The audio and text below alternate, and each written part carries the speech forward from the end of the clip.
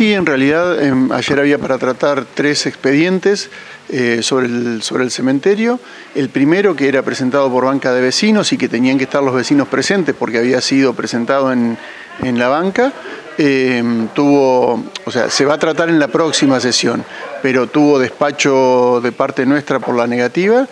La verdad que creemos que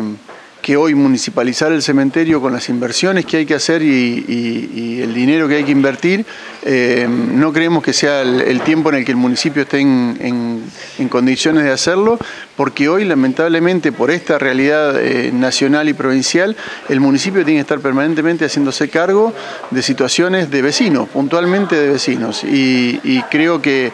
cargar otra estructura más al, esquema municipal en este momento no me parece apropiado. Pero además, ayer se vio a los, a los vecinos, por ahí poner mucho hincapié en lo que eran las salas velatorias y un horno de crematorio, porque además estaba como, como, como eran los tres puntos en un mismo expediente como que se deja ver que están en contra de lo que es el trabajo privado, de lo que es un sueldo pagado por un, por un privado y, en esto de municipalizar todo, lo único que hacemos, a mi criterio y en este, en este tema puntual, la inversión de un horno crematorio, por lo que hemos estado eh, buscando información, sale alrededor de un millón de dólares, la verdad que es una inversión que lamentablemente por el número que somos en, la región no da todavía como para poder eh, instalar un horno crematorio. Y más allá de eso, el mantenimiento que lleva el tener prendido eh, el horno permanentemente.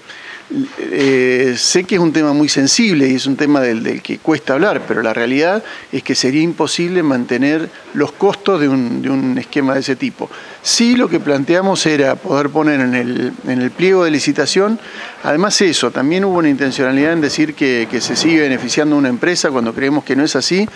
va a haber un pliego eh, de licitación, el cual la oposición va a poder intervenir y poder agregar lo que crea correspondiente.